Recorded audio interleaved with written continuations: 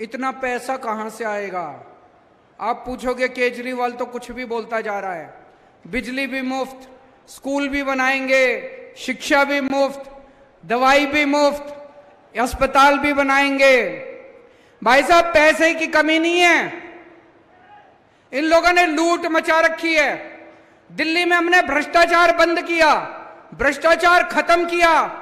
इतना पैसा बचने लग गया, इतना पैसा बचने लग गया, कोई अंत ही नहीं है। पैसे की कमी नहीं है। अभी पंजाब में हमारी सरकार बनी, पुराने मंत्रियों ने इतनी चोरी कर रखी थी, भगवंत मान ने उनको पकड़ पकड़ के जेल में डाला, रेड मारी, उनके घर से नोट गिनने की मशीनें निकली हैं पुराने वाले मंत्रियों के घरों से। भाई साहब, इन्हीं को पकड़ पकड़ के जेल में डालेंगे, इन्हीं के घर से इतना पैसा निकलेगा, आपकी बिजली भी मुफ़्त हो जाएगी, शिक्षा भी मुफ़्त हो जाएगी मध्य प्रदेश सरकार का एक एक पैसा आपके ऊपर खर्च किया जाएगा। एक भी पैसे की चोरी नहीं होने देंगे। सारा पैसा आपके ऊपर खर्च होगा। ईमानदार पार्टी है हमारी। ईमानदार लोग हैं हम, देशभक्त लोग हैं हम।